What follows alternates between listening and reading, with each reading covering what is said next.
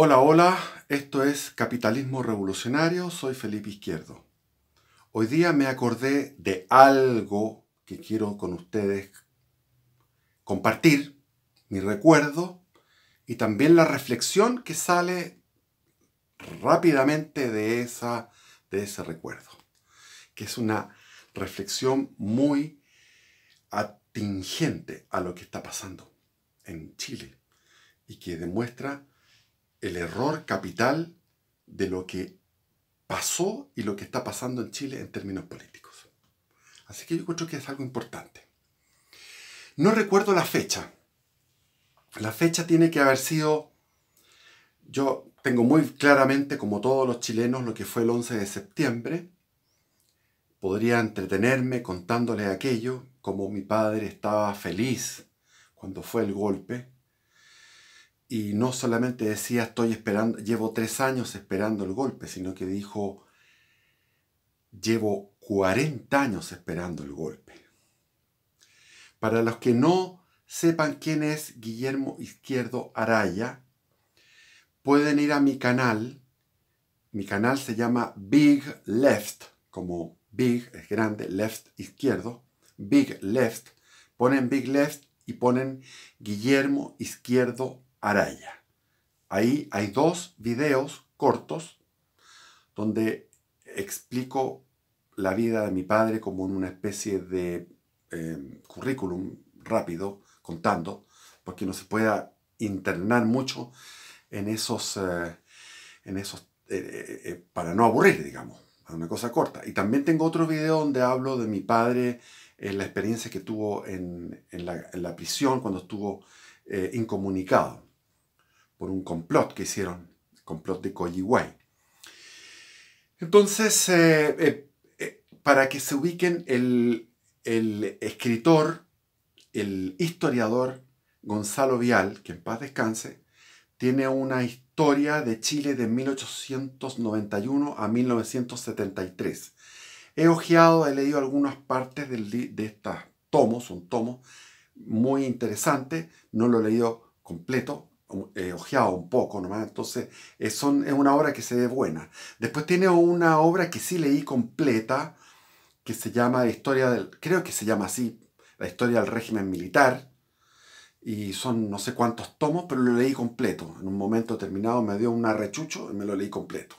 Es muy buen historiador este Gonzalo Vial, un hombre conservador, que fue ministro de, de Educación de eh, de Augusto Pinochet, del régimen militar. Y él menciona a mi padre como el pontífice del nacionalismo chileno. Es decir, mi padre era eh, un personaje que actuó más en los años 30, 40 y 50 en contra del el comunismo, en contra como un anticomunista fervoroso, anticomunista. Entonces, eh, con esos antecedentes, fue llamado a una reunión con el general Augusto Pinochet. Y esto fue, no recuerdo bien, pero por lo menos tiene que haber sido unos seis meses máximo después del golpe. Puede haber sido noviembre, diciembre del 73, o puede haber sido marzo del 74 como, como fecha máxima.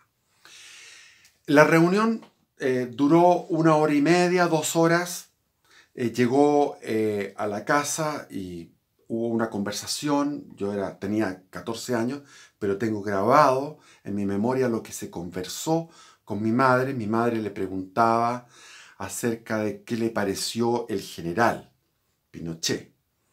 Y mi padre dio muy buenas referencias, dijo que le había parecido un tipo campechano, un tipo rudo, un tipo, eh, no rudo, rústico, tipo rústico, más bien eh, elemental, pero inteligente y bien intencionado.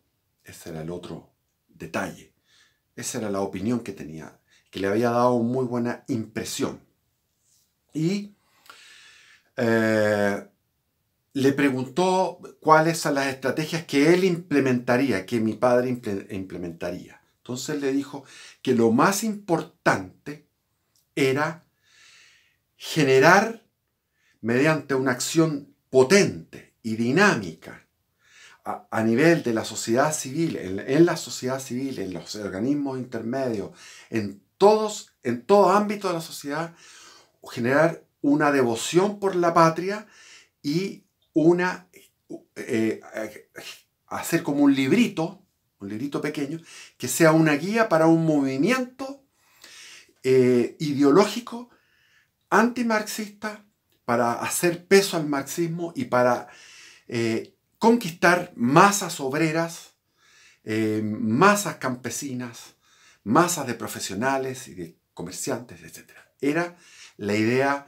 más bien como la que había practicado eh, Francisco Franco, era la idea antigua de, competir ideológicamente y, también en, el, en, los, en los términos de, de la seguridad social y todo esto, tratar de competir también. O sea, la idea era una idea de, la década del 30. Entonces, eh, la idea de mi padre era, le dijo, en la represión es necesaria porque eh, teníamos una, unas eh, organizaciones paramilitares y, guerrilleras como era el MIR, el Partido Comunista que estaba organizándose en clandestinidad, estaba el Partido Socialista, que en su gran mayoría eran también eh, violentistas, y estaban los, eh, los del MAPO, el, MAPO, no el obrero campesino, el MAPO de Garretón, y la izquierda cristiana, etc. O sea, había distintos grupos que estaban dispersos, pero que estaban reagrupándose, estaban resistiendo. Entonces, obviamente, mi padre dijo, bueno, la represión parece que es necesaria, pero, pero es un arma de doble filo porque tú, al, la represión máxima puede ser una tortura o puede ser una muerte, un asesinato. Si muere una persona del enemigo, genera una serie de odios entre todos sus familiares, entre los amigos, entre los militantes, etc. Estas noticias se difunden entre medio de un ambiente y se genera hostilidad y odio que al final va a brotar, de un, va a rebrotar ese odio reorganizado en el futuro. Entonces, mirándolo a largo plazo, mi padre decía, hay que tener un espíritu portaliano, es decir, tenemos que implementar realmente un sistema portaliano donde no sea un personalismo, no hay una persona, sino que haya un sistema que funcione, que vayan rotando las personas que están arriba. Lo importante es que el sistema funcione y no nos apoyemos en la constitución y que la constitución sea una constitución que va a proteger esto. Más que la protección que pueda dar la constitución, lo que tenemos es que protegerlo por la conquista de los corazones y la conquista de las mentes a través de una acción política potente y dinámica a todo nivel, en todos los estratos y en todos los en todas las sociedades, en todos los organismos intermedios de la sociedad civil. Ese planteamiento, a mi juicio, visto desde la perspectiva del año 2020, es correcto. Es lo que debiera haberse hecho. ¿Qué es lo que se hizo en contraposición a lo que planteaba mi padre era la idea de Jaime Guzmán.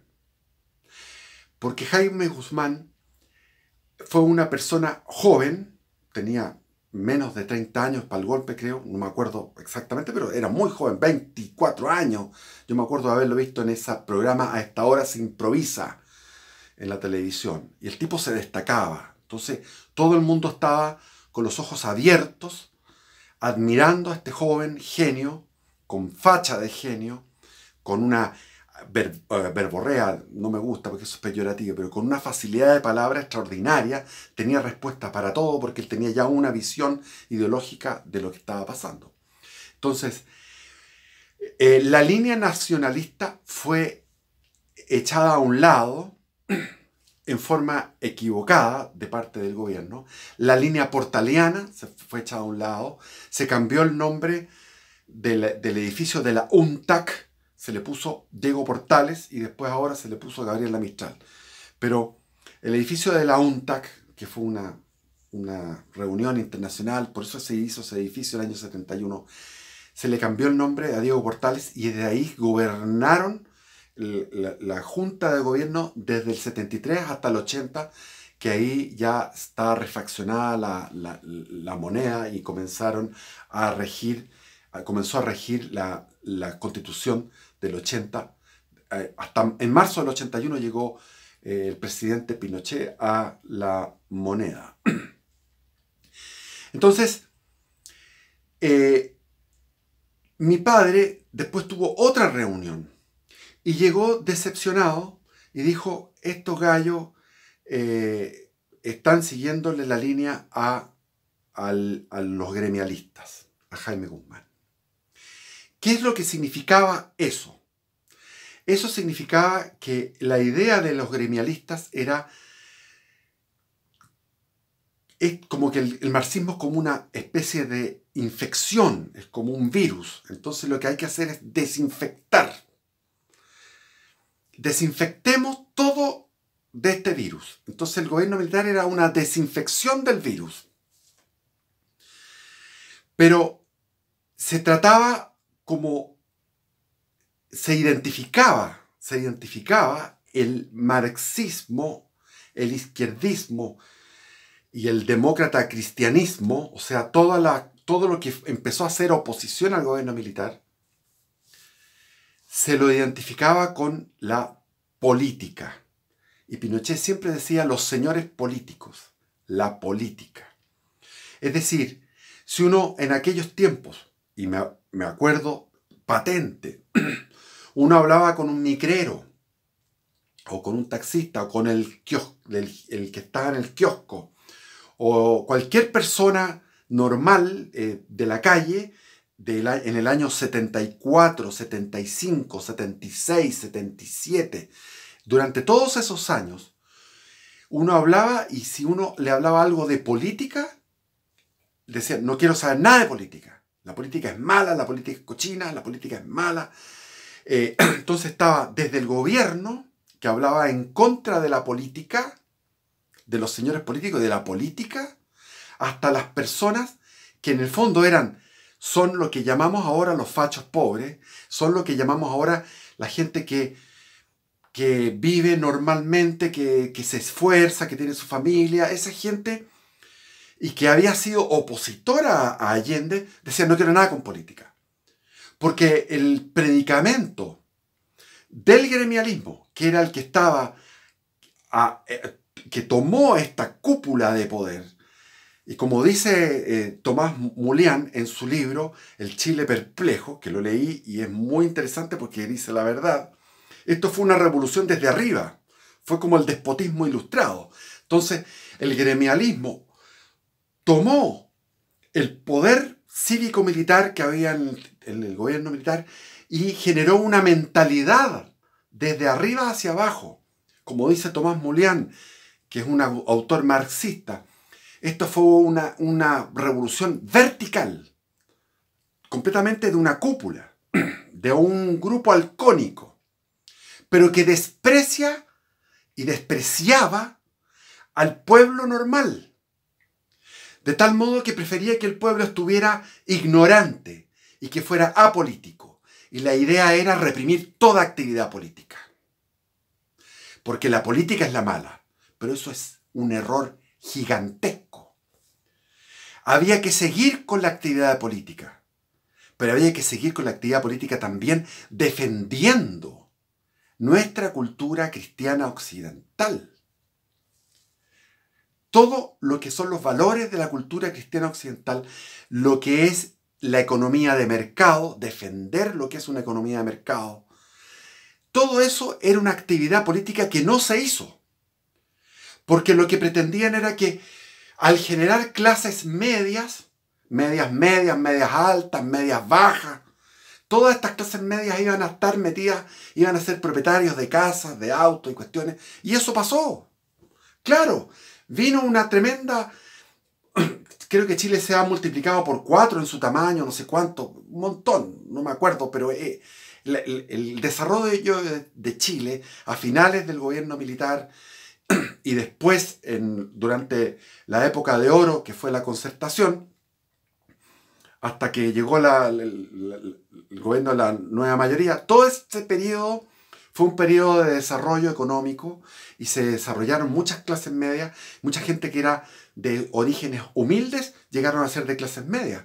Pero sin embargo, no se trabajó el corazón, no se trabajó la mente, no se trabajó, no se hizo lo que llaman los comunistas el trabajo de masas. El trabajo de masas es la esencia del, del trabajo marxista, que ellos llaman es un trabajo de hormiga, en la universidad, de hormiga, de hormiga. ¿Qué es de hormiga? Una persona. Le hablan a esa persona. Yo no viví eso, yo fui víctima de eso.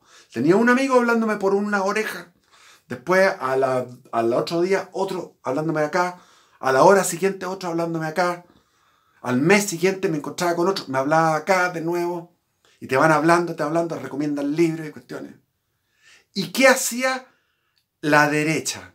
La derecha sencillamente siguiendo la línea de Jaime Guzmán y del gremialismo, de la UDI, que, que sabemos en qué está ahora la UDI, qué es lo que es ahora la UDI, que es un partido transvesti de izquierda, es un partido de izquierda en este momento. Porque no ha defendido, no ha defendido, porque rechazaron el legado militar del gobierno militar, lo rechazaron. Se dieron vuelta. Eh, la, renovación, la igual, quitaron de la declaración de principio eso. Entonces, la derecha, eh, de corazón, de mente, y la derecha económica que le llamaban, que son la clase alta, que no es derecha, sino que los grandes intereses económicos, sencillamente estaban protegidos por esta cúpula cívico-militar y por esta constitución que las iba a amparar para siempre y ellos se iban a adaptar, obviamente, se iban iban a ser, ellos iban a vivir en la democracia de una manera perfecta, no hay ahí ningún problema.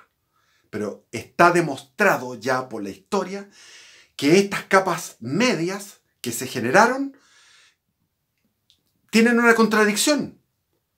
Porque ¿Cuántas familias he visto yo? Pero montón de ejemplos en estos 30 años. Cuando uno va donde una familia, para darle un ejemplo, porque esto es un ejemplo de muchos miles de familias, que, él, eh, eh, que, eran de familias humildes. De familias humildes. Por ejemplo, un hijo de, una empleada doméstica que estuvo en mi casa. Este hijo, el descueve, le fue bien. Y ahora es un profesional. Y tiene todo perfecto. O sea, tiene su, buena situación. Tiene una buena situación. Sin embargo, él es de izquierda. ¿Por qué? Porque no hubo trabajo, no hubo trabajo político. Es así de simple.